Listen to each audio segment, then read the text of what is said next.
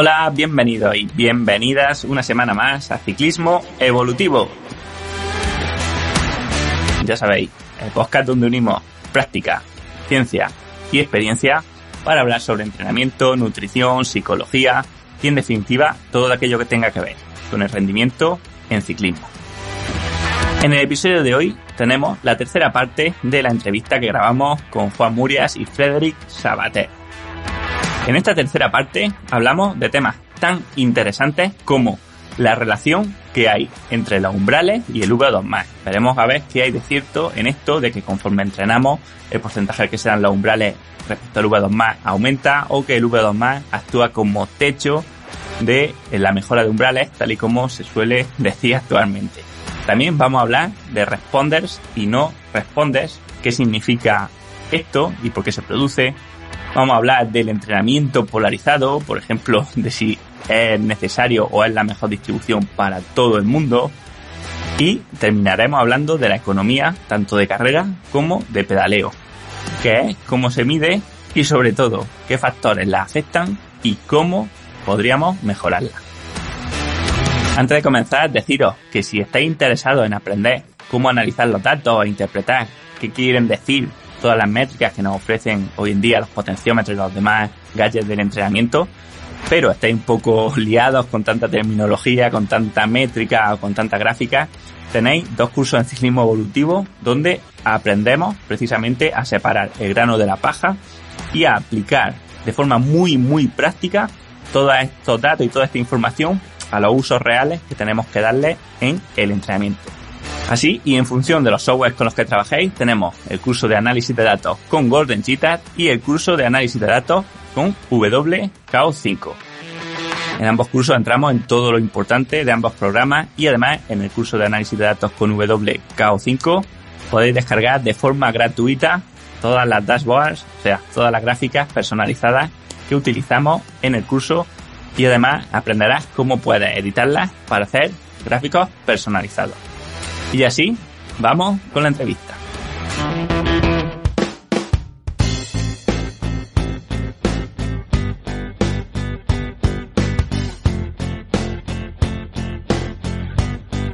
Quería empezar hablando, además, que fue por lo que contactamos, y es por la relación que puede haber entre los umbrales, ¿vale? En especial el segundo umbral y el V2 ¿Y por qué lo digo? Porque eh, yo esto lo, lo quise hablar con vosotros, porque siempre, por lo menos en el ciclismo, se da por hecha la idea de que eh, esta metáfora que se llama, se, se, viene a denominar como las paredes y el techo, ¿no?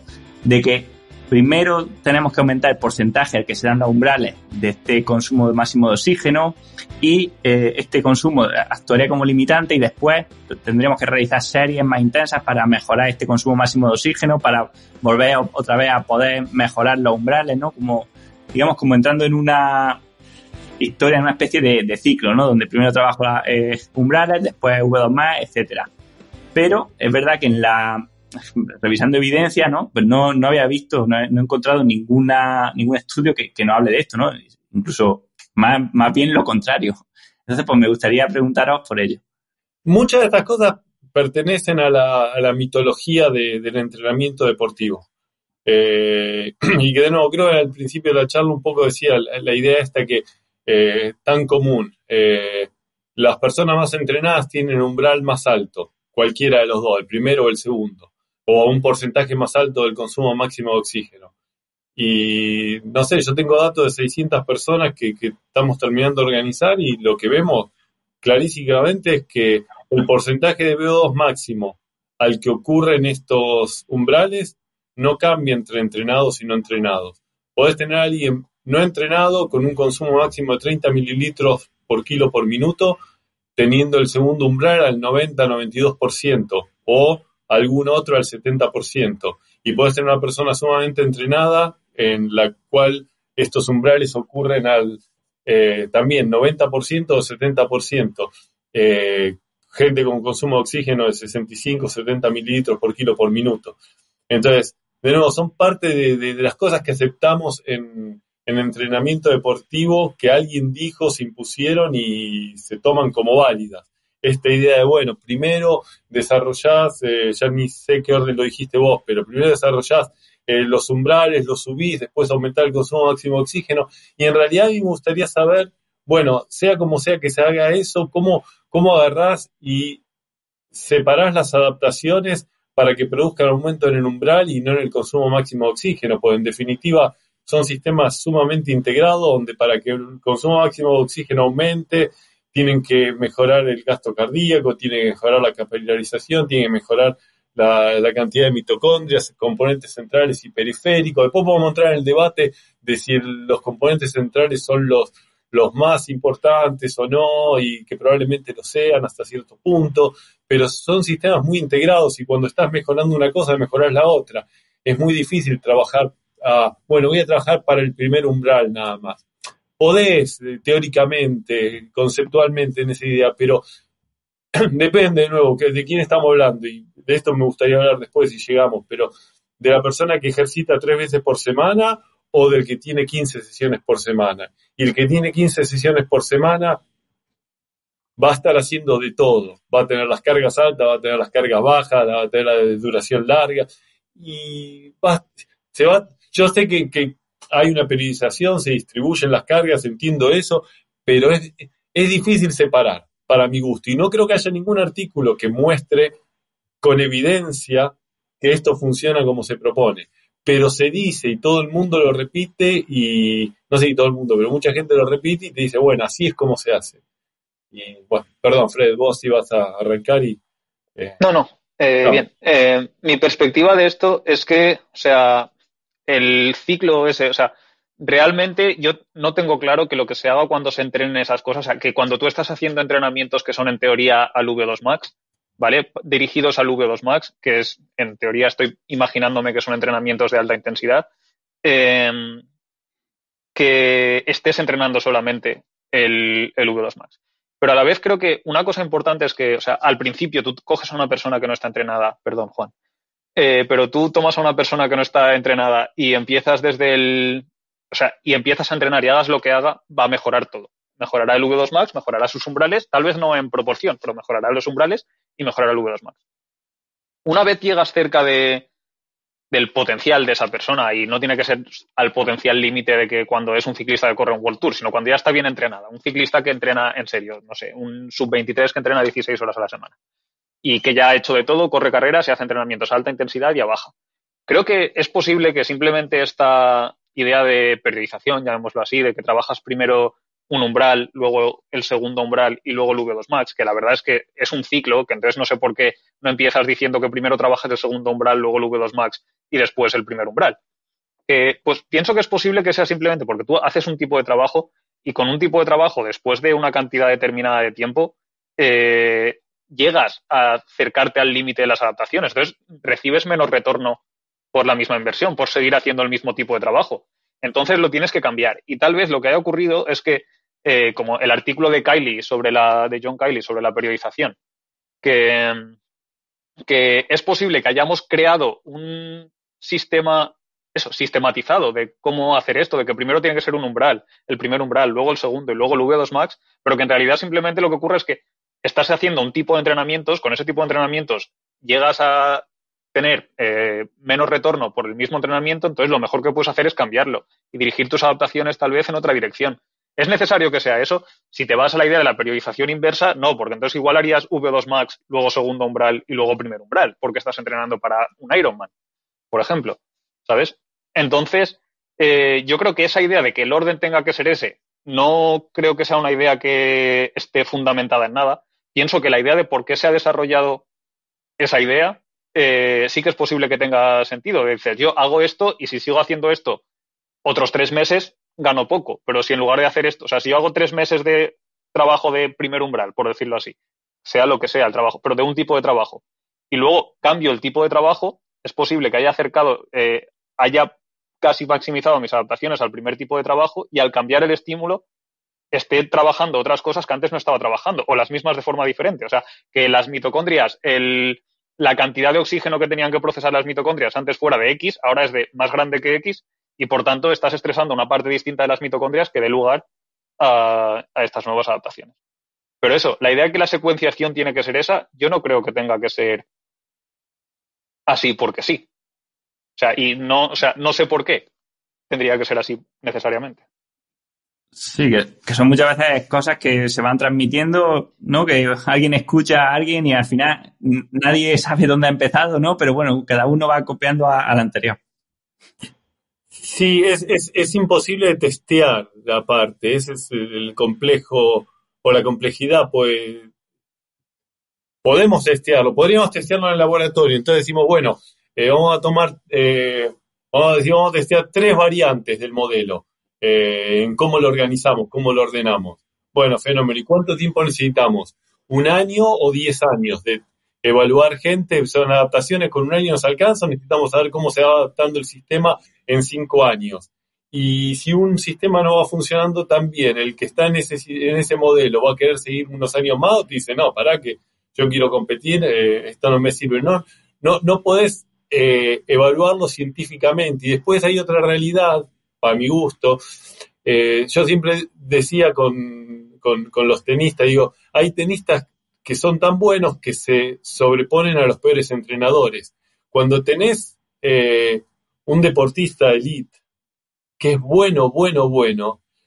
Y de nuevo, no quiero decir, ah, bueno, si sos bueno ya está, vas a llegar. Pero, pero muchas veces pasa en que tipos que son tan buenos llegan a, niveles altísimos por lo que tienen, a pesar de, entrenamientos que no son tan adecuados. Pero como esa persona que es realmente diferente es la que gana, después muchas veces se confunde y dice, ah, bueno, esta persona hizo este entrenamiento, este es el entrenamiento que funciona y capaz que no era el mejor entrenamiento, pero era la persona adecuada.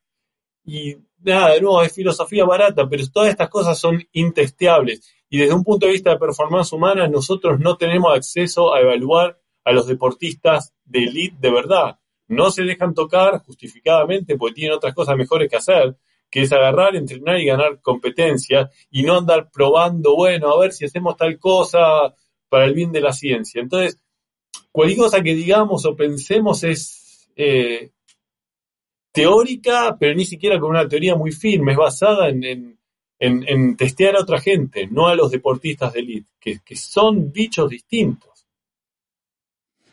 Son cinco desvíos de estándar para, el otro lado. Entonces, no sé si, si, si realmente podemos... Eh, me acuerdo una presentación sobre dietas, eh, la eh, dieta ketónica o como se llame, otra de carbohidratos, otra basada en no sé qué. Tres corredores, creo que eran de ultramaratón, eh, top, cada uno una dieta totalmente distinta. Y después anda a explicarme, no, porque la dieta es lo que... No, no. Podés llegar al mismo lugar desde lugares totalmente distintos y no lo podemos evaluar. Creo. Fred, decime, ¿vos lo podés evaluar? ¿Tenés alguna idea mejor? No, no, o sea, yo creo que como mínimo es muy, muy difícil de evaluar. Que eso, hacer estudios de con la población adecuada, en el caso que estemos hablando de deportistas de élite, pero incluso así, o sea, en ciclistas que podrían ser normales, podrían ser ciclistas máster que quieran hacer la quebranta huesos o cualquier otra carrera ciclista. Em, eh, a la hora de decidir, vale, vamos a utilizar este modelo, es mejor utilizar, organizar el entrenamiento así o de otra forma, es que por necesidades, utilizamos muestras pequeñas, utilizamos tiempos pequeños. Lo que decía Juan antes, la cantidad de tiempo adecuada para medir esto son 10 años. Un doctorado, mi doctorado fueron 3 años. En Canadá los doctorados son más largos. Hay gente que hace doctorados de 4 o 5 años. Pero en, pero eso, cuando te vas a hacer esto, dices, que ¿cuál es el tiempo que realmente necesitas para hacer esto? Y que una persona tiene que estar ahí haciéndolo, eh, ¿sabes? Y que no es tan fácil hacer estas mediciones fáciles y, o sea, fáciles, quiero decir. Estas mediciones que son complicadas, no se puede, no podemos decir, venga, vamos a medir esto y ya está. Porque es eso, muy complicado, muy caro y ahora mismo no, no podemos evaluarlo, al menos nosotros y con los medios que nosotros tenemos. Y además eso, ah. está el hecho de que tienes que definir las variables, que entonces, para, si quieres hacer esto bien de verdad, tienes que traerte a las personas a entrenar al laboratorio.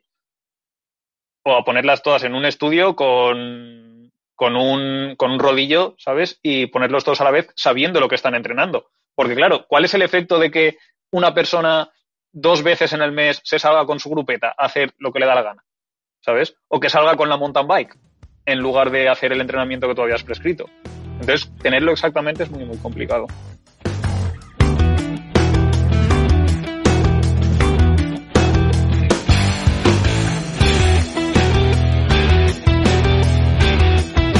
Pero voy, voy a agregar algo, y esto sí con convicción, y esto era algo de lo que sí quiero hablar, eh, que es eh, ¿por qué me interesan estos dominios del ejercicio? Volvemos al principio.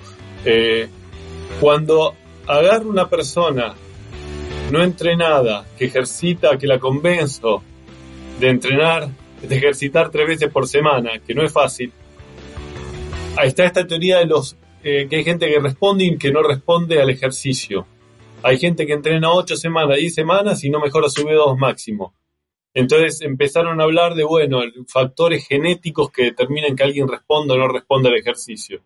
Y yo como soy entrenador de, alma, digo, no, no, no, me lo das a mí, yo te lo mejoro.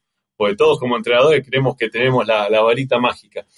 Y hicimos un estudio, estamos haciendo un estudio donde eh, evaluamos eh, gente no entrenada, la entrenamos tres veces por semana, eh, con la misma cantidad de trabajo en, cuanto a, los kilojulios, haciendo moderado, zona baja del vigoroso, zona alta del vigoroso, entrenamiento intervalado y otro entrenamiento intervalado de sprints.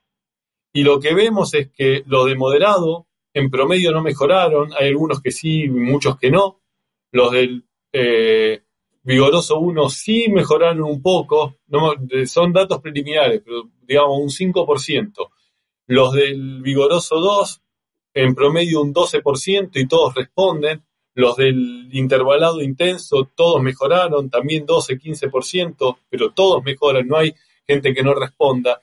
Entonces, cuando está entrenando a gente que no es un atleta, un ciclista profesional o semiprofesional, que no hizo ejercicio antes, para mí no existe la, ah, bueno, hay gente que no responde. No, si los entrenás bien, y para mí entrenarlos bien tiene que ver con la carga metabólica adecuada, todos responden. Eso lo digo con convicción. Eh, en esto sí me siento confiado. Ahora, después cuando entramos en modelos de gente que entrena 10, 12, 15 sesiones por semana. Primero, si son buenos ya eh, hay una cuestión genética que determina el límite superior. No sé exactamente cuál, pero lo existe. Por eso no todos podemos entrenar y volvernos buenos. Algunos son buenos, otros no. Punto. Y después, una vez que, que agarras a esa gente, cómo construir esa casita, si pones primero las paredes, después el techo, no lo sé, eh, no creo que nadie lo sepa, pero muchos proponen saberlo. Pero me parece que, sí, que es casi imposible de, evaluar. Eh, pero los modelos, algunos modelos funcionan al menos, pero no para, la gente con la que están interesados trabajar ustedes en, eh, en el podcast. Sí, pero es interesante esto, ¿no? Y, creo que es lo que decías también la otra vez, ¿no? De que el entrenamiento polarizado Mm, hay un entrenamiento polarizado de manual o es bueno para todo el mundo, ¿no? Pues no es lo mismo el que entrena tres horas a la semana, ¿no? Desde luego que, el que entrena 25, ¿no? Y ahí, bueno, eh, de nuevo, esta idea de polarizar, bueno, eh, sí, tenés que polarizar cuando entrenás 20 sesiones por semana, pues si no, no recuperás y te lesionás. Ahora, si entrenás tres veces por semana, lunes, miércoles y viernes, ¿Cuál es la necesidad de hacer algo submáximo si tenés siempre 48 horas de recuperación? Y cuando ahora estamos mostrando claramente que la intensidad es determinante en, esa gente.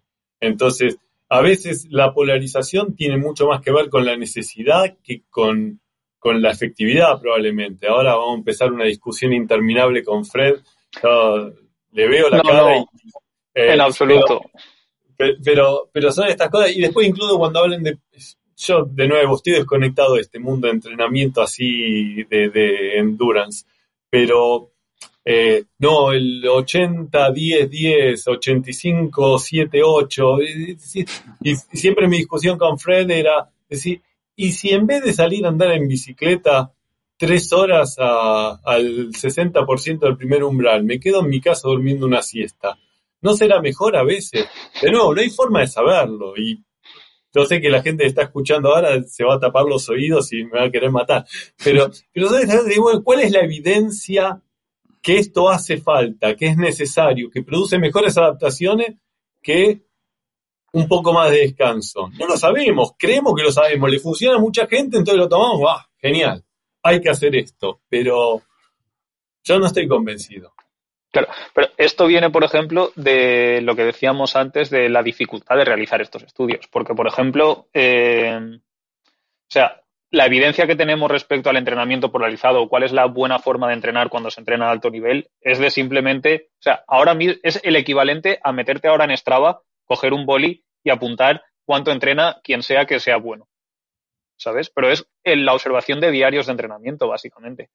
Que no tenemos una, no se han hecho investigaciones, por lo que yo decía antes, de que hacer investigaciones es muy difícil, porque tú no puedes decirle a 37 personas que sean, eso, ciclistas máster, de decir, no, pues vosotros 15 vais a seguir entrenando como estabais entrenando y vosotros 15 vais a pasar a entrenar 25 horas a la semana. O subimos de entrenar las 8 horas a la semana que estáis entrenando ahora, a entrenar 25, hacen falta como mínimo igual 6 meses de progresión, que me parecen pocas, me parecen pocos, ¿vale? Y después de eso hacéis 25 horas a la semana durante un año para ver cuáles son los resultados. Y es un estudio que es que es completamente inviable, es imposible de hacer.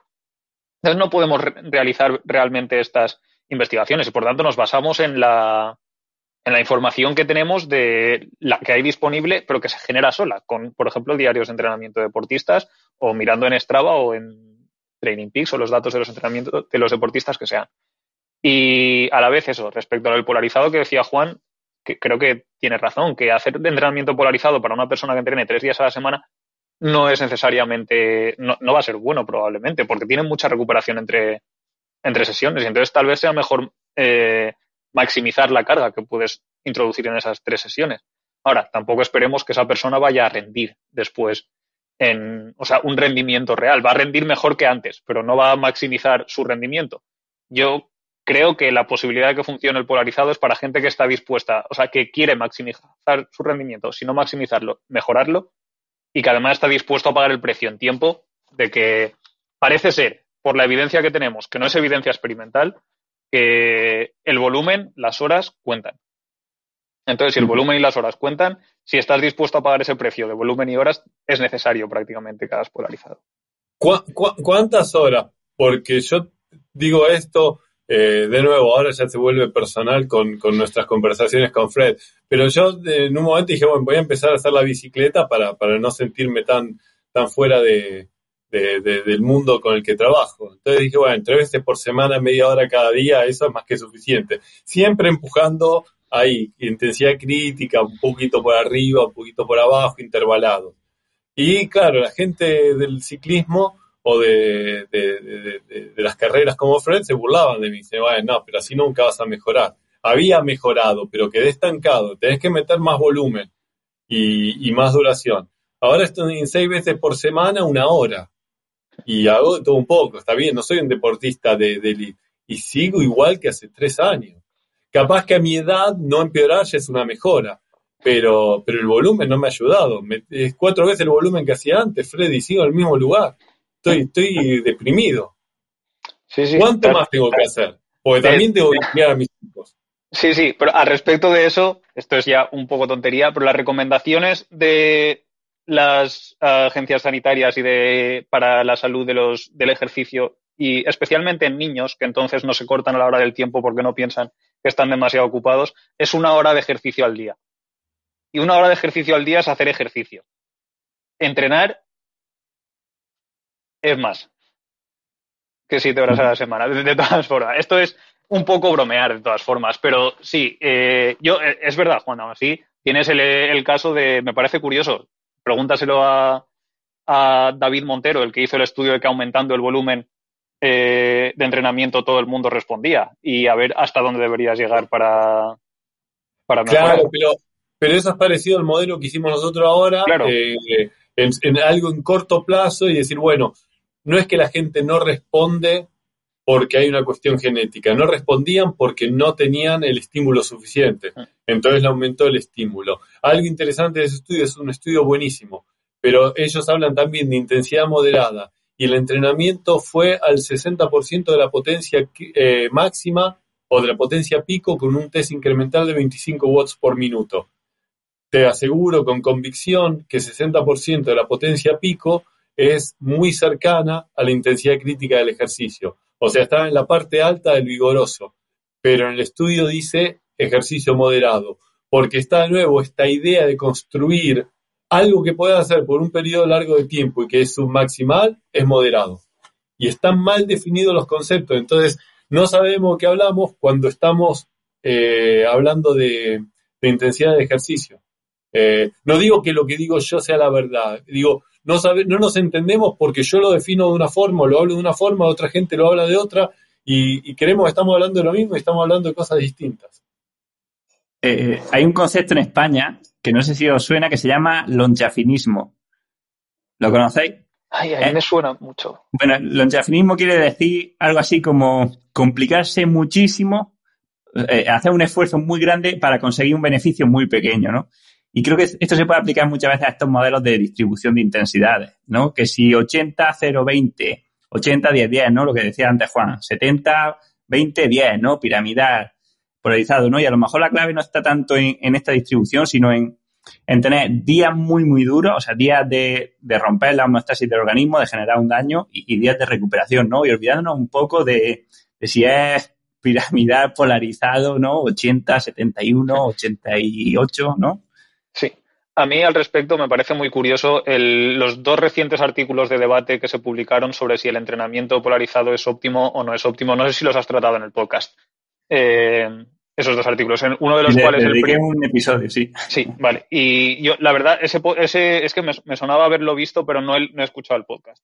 Pero mi conclusión de eso, que lo discutíamos el otro día en el laboratorio, es que, o sea, para empezar, el grupo de Sailor, eh, que es el que en teoría defiende el entrenamiento polarizado, nunca defiende el entrenamiento polarizado. O sea, yo tengo la sensación de que ellos totalmente pierden el debate que están diciendo, porque no entran, no dicen que, ellos ni siquiera dicen que el entrenamiento polarizado es mejor. O sea, ellos lo que, que el polarizado entendiendo como trabajar en los dos extremos, que aquí sería el dominio moderado y el dominio severo, olvidándote del pesado, o sea, del vigoroso, mientras que el otro grupo dice que no, que no es polarizado porque que la distribución es piramidal, la que realmente hacen los deportistas de élite.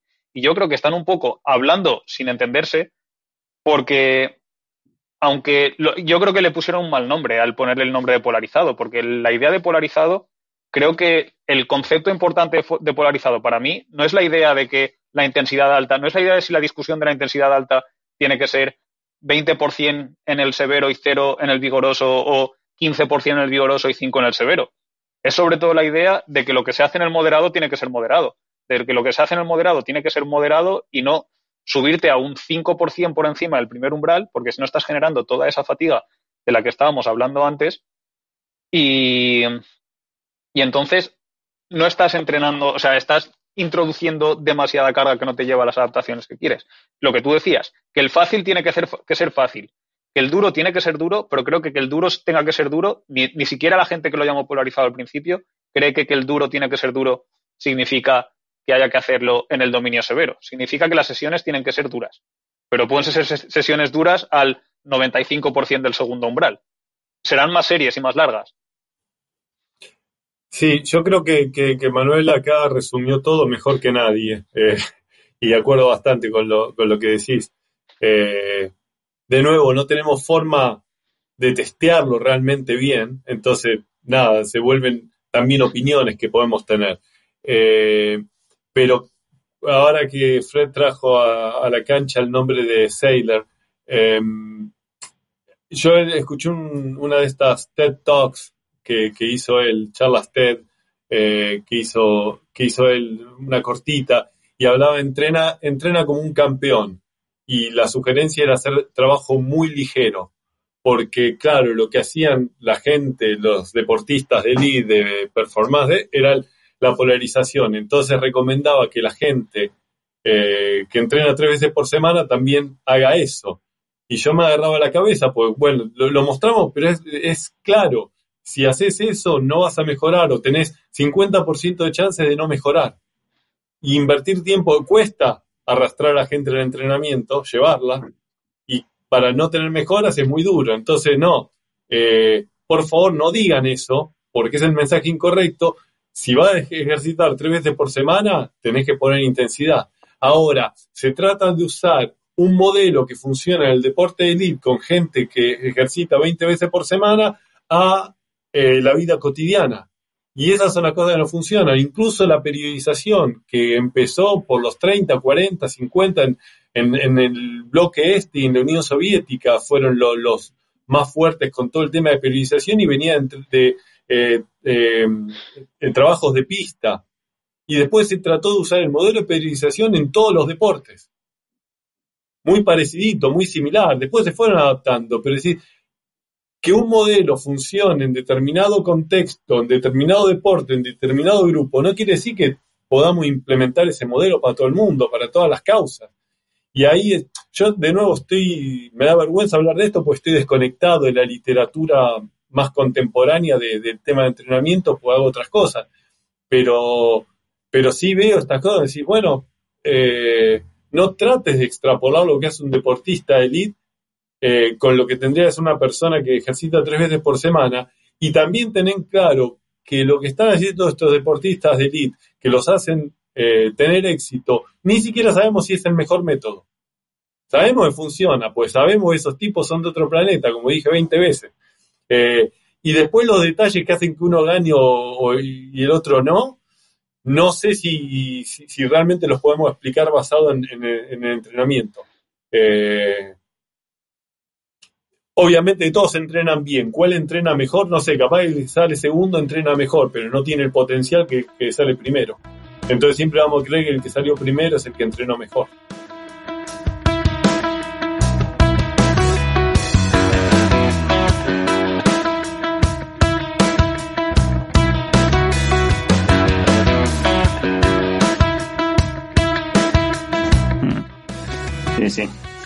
Esto es seco de, bueno, no sé cómo se dice, ¿no? Pero bueno, el seco de que el que gana parece que es el que hace las cosas bien. Bien. Y ya para, terminar me gustaría que hablásemos un poco también del último punto que nos queda por tocar, si tenéis tiempo, que es la economía de, pedaleo o de carrera. Porque bueno, al final Federica ha estudiado o está haciendo su tesis con la economía de, carrera, pero creo que la mayoría de cosas se pueden extrapolar también al ciclismo. Y bueno, como hemos dicho, también tenemos oyentes que, que son trail runners o, atletas. Así que bueno, me gustaría empezar preguntándolo, pues bueno, ¿qué es esto de la economía de pedaleo y por qué es tan importante? Vale, pues la economía de pedaleo, que generalmente cuando hablamos de ella hablamos de eficiencia, eh, de pedaleo es simplemente la relación entre la energía que consumimos y la potencia que producimos. O sea, la energía que consumimos se puede medir a partir del consumo de oxígeno, pero realmente se puede medir también eh, en vatios. Lo que pasa es que son vatios metabólicos. Entonces, por ejemplo, podríamos decir que tú tienes a una persona que está eh, quemando, o sea, que está consumiendo mil vatios eh, metabólicos, ¿vale? O sea, mil vatios serían mil julios por segundo, ¿vale? si esa persona tiene una eficiencia normal, la eficiencia normal en ciclismo ronda más o menos el 20%, eso significa que produciría 200 vatios de potencia. ¿Vale? Entonces, lo que ocurre ahí es que tú tienes a una persona con un 20% de eficiencia para producir 200 vatios eh, mecánicos, que son 200 vatios aplicados en el pedal, ¿vale? Le cuesta eh, 1000 vatios metabólicos. que aproximadamente eso, eh, pues 1000 vatios serían, a ver que no me equivoque ahora yo con los números, pero 1000 vatios eh, serían 1000 julios por segundo, ¿vale? Que aproximadamente sería eh, una caloría, si no me estoy equivocando. De todas formas, eh, entonces lo que ocurre es que tenemos una persona con una eficiencia del 20% con 1000 vatios metabólicos, que es realmente lo que estamos hablando todo el rato, la intensidad metabólica que tú estás produciendo, ¿verdad? Pues con tus 1000 vatios metabólicos que tú estás produciendo, estás metiendo 200 vatios sobre los pedales. En caso que tuvieras una mejor eficiencia, en lugar de tener un 20% de eficiencia, tuvieras un 22% de eficiencia, lo que ocurriría es que en lugar de, con los mismos, con el mismo consumo de 1000 vatios, consumirías, o sea, producirías 220 vatios de potencia sobre los pedales. Es decir, eh, metiendo la misma cantidad de energía, produces más potencia. Esto también se ve a veces con el consumo de oxígeno, ¿no? De decir, pues, para, para ir a 300 vatios hay gente que necesita 60 mililitros y otros 50, ¿no? Exacto, exactamente. Sí, es lo mismo. Lo que pasa es que nosotros lo que hacemos es que utilizando luego el cociente respiratorio y los equivalentes energéticos de las grasas y los hidratos de carbono, desde se convierte ese consumo de oxígeno en potencia también, o sea, o en kilojulios.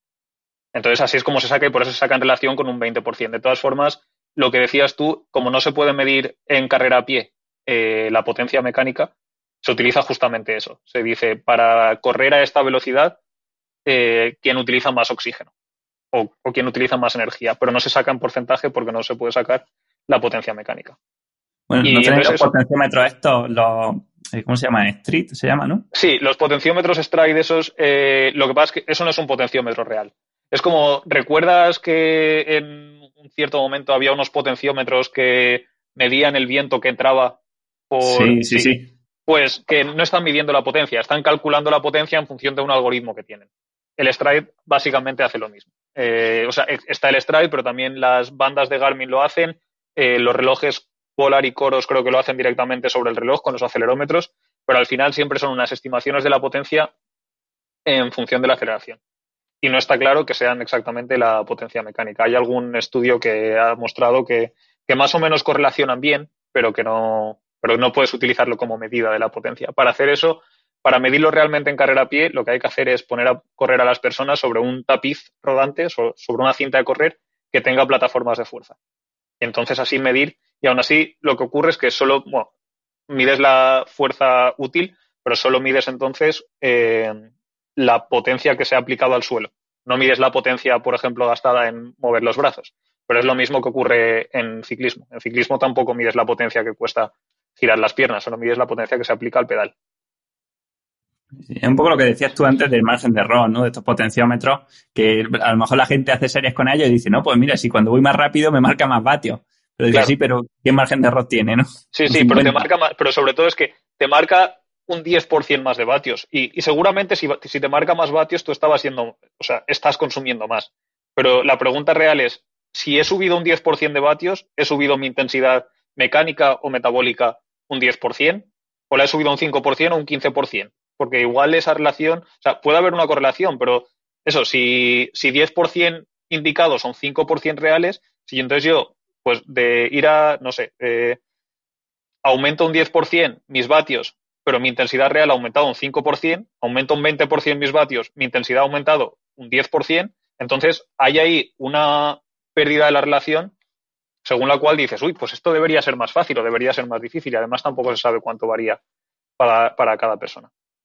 Pero volviendo al tema inicial, la, razón obvia, por decirlo así, por lo que es importante es que si tú tienes dos personas con, por ejemplo, el mismo consumo de oxígeno o la misma capacidad de producción de energía metabólica, la persona que tiene más eficiencia eh, pondrá más vatios. Entonces, eso, si es la razón por la cual nos convendría trabajar para intentar mejorar la eficiencia. Y por la cual deberíamos intentar no perder eficiencia a la vez. Sí, sí. Entiendo que las dos preguntas principales serían, la primera es cómo, cómo nos afecta o qué factores afectan a, la eficiencia y cómo nos afecta también la, fatiga. Pues ahí hay varias investigaciones que lo han estudiado. O sea, por ejemplo, parece ser que se puede mejorar la eficiencia con el entrenamiento. De hecho, un estudio famoso que la verdad es que no sé si me suena mucho que el primer autor era Coyle, eh, estudió a Armstrong y sacó que Armstrong había mejorado mucho su eficiencia a lo largo de su carrera deportiva. Pero es uno de esos estudios de los cuales se dice, no te fíes de este estudio, porque sabemos que Armstrong no era muy de fiar. Entonces no sabemos si fue el entrenamiento lo que lo mejoró o de dónde salió la mejora, ¿verdad? No, eh, con el entrenamiento, especialmente en carrera a pie, porque esto ha estado mucho más estudiado en carrera a pie, eh, parece ser que el entrenamiento de fuerza con cargas pesadas mejora la eficiencia y que esto viene debido eh, sobre todo a mejoras de la coordinación eh, intramuscular e intermuscular. Y luego, el caso más obvio de deportes en los que la mejora de la eficiencia mejora mucho son los deportes técnicos, como por ejemplo la natación y el remo. en deportes como la natación y el remo, el volumen de entrenamiento, o sea, el practicar el gesto, que de hecho seguro que es lo mismo en tenis, que alguien que ha hecho, eh, que ha pegado el raquetazo eh, bien pegado 10.000 veces lo hará mejor que alguien que lo ha pegado 500. Entonces, el, la mejora del gesto técnico eh, viene en parte dada por repetir el gesto técnico muchas veces. Dime, Juan. Una pregunta tengo, porque me da curiosidad en esto, eh, y de nuevo, refleja mi ignorancia en ciclismo. A mí me gusta, como sabes, molestar gente cada vez que puedo, entonces me, la agarro con los ciclistas y digo, bueno, pero cualquiera puede andar en bicicleta, es empujar arriba y abajo, arriba y abajo. Obviamente hay un componente técnico y, y uno se acomoda en la bicicleta, etcétera. Pero en carrera, yo entiendo la, la mejora de la eficiencia, me parece como que hay más lugar, más espacio para mejorar la eficiencia. ¿Cuánto se puede mejorar la eficiencia? Le pregunto a los dos, pero en, en, ciclismo, ¿hay realmente eh, espacio para, para, poder mejorar la, eficiencia o técnicamente hay menos posibilidades? Mira, empiezo yo si quieres y, yo te voy a ser sincero y, te voy a decir que, no lo sé. Y no lo sé y además no parece que haya entrenamientos per se que mejoren la eficiencia. O sea, yo he estado buscando y, yo no he encontrado nada, aparte del trabajo de fuerza, como ha dicho antes Frederick, yo no he visto ningún entrenamiento, ¿sabes? Porque a veces se dice pedaleas a una pierna, pedaleas con cadencia baja, pedaleas con cadencia alta, pero claro, al final eso te da una forma de pedalear que no es la real que tú vas a tener luego en el ejercicio, ¿no? Además parece, y esto sacándolo de la ciencia de la complejidad, que que el organismo, ¿no? Yo creo que se, que se autoorganiza en función de, también de, la fatiga y de la intensidad. Y, la, y creo que, que quizá el, gesto óptimo a ritmos bajos no es el mismo gesto óptimo a, por encima de umbral, pero, pero la verdad que ya, yo, yo de ciclismo, la verdad que no lo sé. a ver si en carrera lo que has mencionado del umbral, por ejemplo, también es interesante porque es muy difícil, muy, muy difícil medir realmente la eficiencia por encima del umbral. Entonces, realmente lo, que, lo único que podemos hacer por encima del umbral es extrapolar. Parece ser que la mejor forma que hay de mejorar la eficiencia es simplemente estar más fuerte porque a potencias más altas somos más eficientes. Y eso es en parte porque hay, siempre hay una proporción de la eficiencia que, en resumidas cuentas, se va a, o sea, hay una proporción de la energía que tú utilizas que se dirige a cosas que no son empujar los pedales. Por ejemplo, simplemente dar la vuelta de las piernas, mover las piernas. Te cuesta energía, pero esa energía no la aplicas a los pedales. ¿Vale? Entonces lo que pasa es que es el porcentaje de energía que aplicas a. el porcentaje de energía que dedicas a mover las piernas es menor cuanta más energía pones en total. Entonces, los ciclistas, tú coges a un ciclista que tenga que pueda pedalear a 150, 200, 250 y 300 vatios y normalmente hay una relación lineal de mayor eficiencia a mayor potencia. Y además de eso, lo que decía Juan, yo no sé exactamente cuánto se puede mejorar, pero creo que la cuestión que tal vez puede ser aquí más interesante es lo otro que habías dicho, que es cómo afecta la fatiga.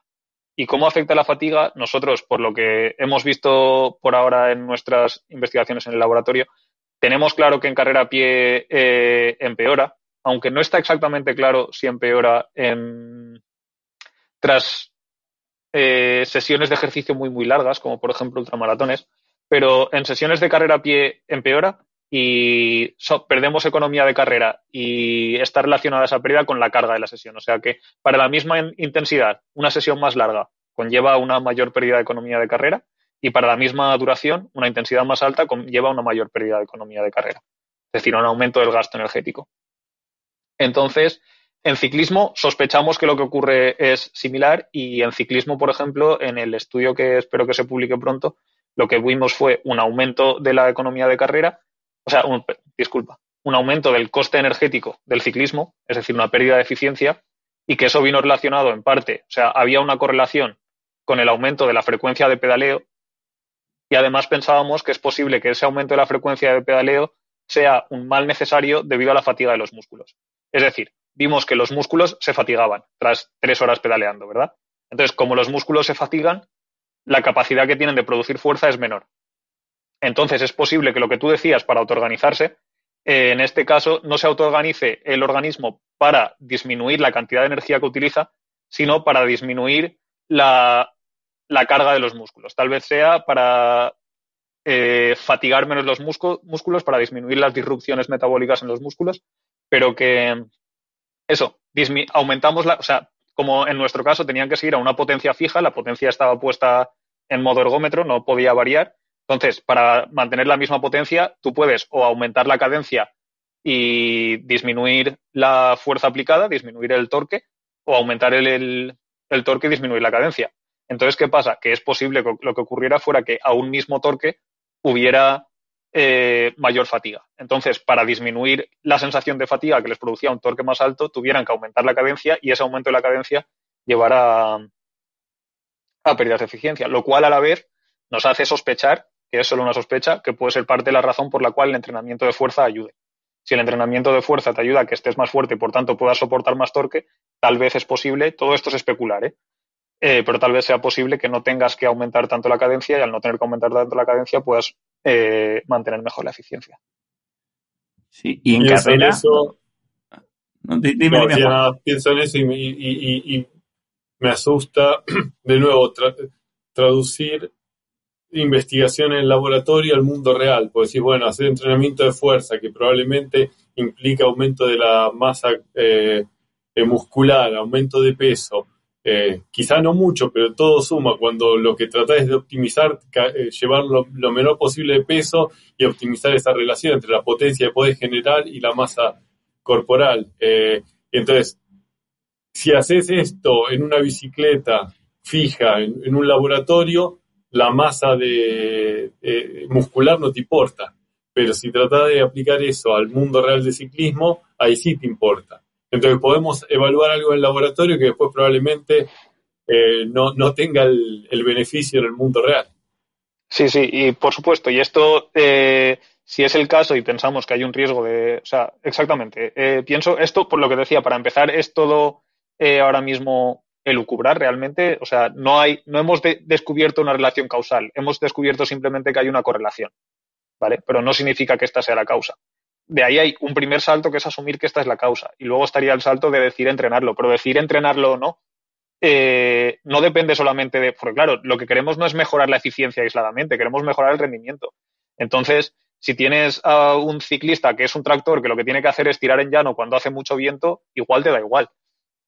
Eh, que tire en llano que cuando hace mucho viento y esté escapado en, en una etapa llana. Pero en cambio, si tienes a un ciclista que, que pretendas que gane en, en puertos de montaña, es probable que digas, me vale la pena esta pérdida de eficiencia, eh, compensa.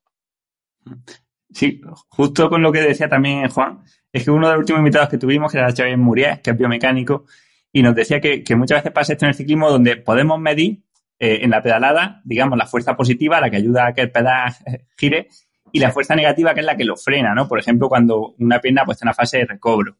Pero que aunque lo óptimo sería que, no frenase nada la, la pierna que, está subiendo, ¿no? La que no está empujando.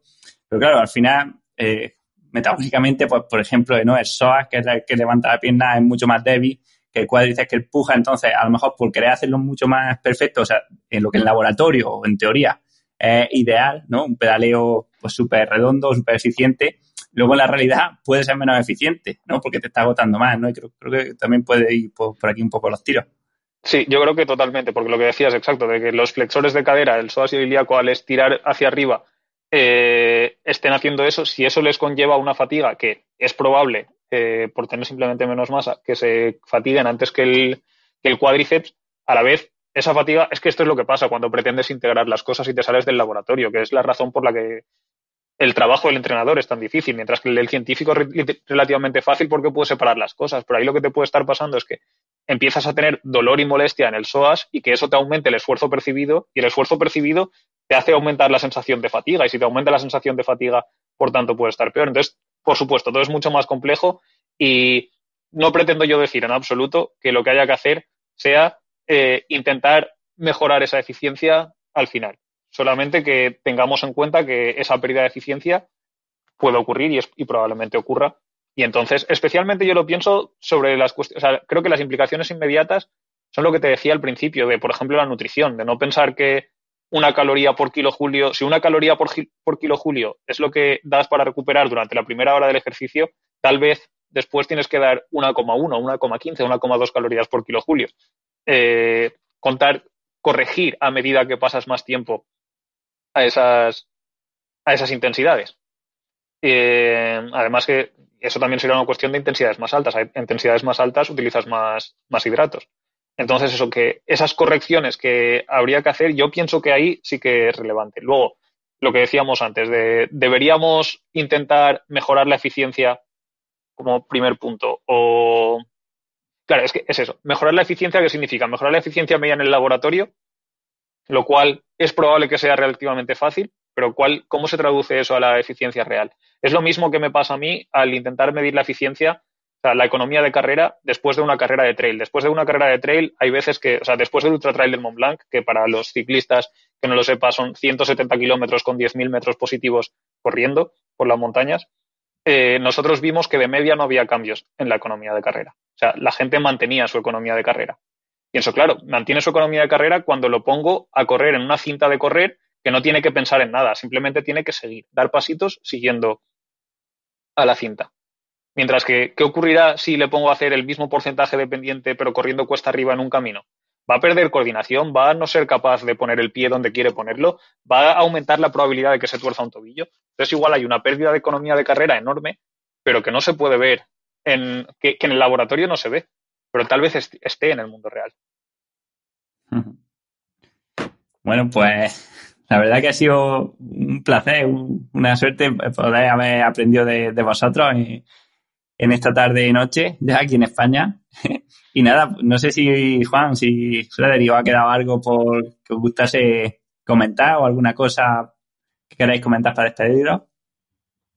No, simplemente eh, Fred estaba haciendo unos comentarios ahora y se me ocurrían otras cosas y nada, nos gustan estos temas y podríamos hablar 14 horas y la otra vez cuando, cuando estábamos charlando de, la posibilidad de, juntarnos a hablar o hacerlo separado, yo dije, no, no, hagámoslo juntos, pues eh, hemos estado peleando con Fred hace 7, 8 años, ya, ya perdí noción del tiempo, 6, ya no me acuerdo cuánto, y, es lindo, es lindo esto, eh, juntarse con gente y hablar de estas cosas y probablemente hayamos confundido a varios ya, espero que no mucho, eh, pero nada, gracias por la invitación, la verdad que eh, se pasó el tiempo volando y yo, yo disfruto hablar de estas cosas. Me, me gusta mucho y me, me, educo en algo que, que, me apasionó toda mi vida, pero que, bueno, por, por la dirección que llevo mi trabajo me desconecté un poco y esto me hace mantenerme un poco más al corriente.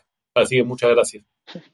Yo lo mismo que muchas gracias por la invitación. Además que mucha suerte intentando editar esto o cortarlo lo que tengas que hacer para que suene como que tiene que sentido, porque hablamos y, hablamos y hablamos y lo que dice Juan, podríamos hablar muchísimo rato. Pero eso, muchas gracias por la invitación. Bueno, oye, me alegro que hayáis dicho porque yo estaba aquí pasándolo mal, mirando el tiempo y diciendo, uy, estos me van a matar. Pero, bueno, sabiendo esto, oye, que, a las malas repetimos de aquí a nada. Cuando quieras, sí, eso. Pero esto, por anécdotas, a mí me ha pasado de ir al despacho de Juan y que tuviera una reunión en 10 minutos y me dije, te atiendo, pero tengo 10 minutos. Y echarme del de su despacho una hora y cuarto de, de estar una hora discutiendo o pegándonos. Así que lo hacemos, yo creo que los dos disfrutando. Así que... Sí, con alegría. Eh, de hecho, yo, lo mismo que te pasaba a vos, me pasó a mí del otro lado, pensando, bueno, habíamos quedado una hora y media y este hombre nos sigue escuchando. Así que gracias, Manuel. Es un, es un gustazo cuando de verdad a la gente le apasiona lo que hace, así que, oye, Muchísimas gracias por todo, de verdad. Y pues nada, nos citamos para hablar más adelante. Claro que sí.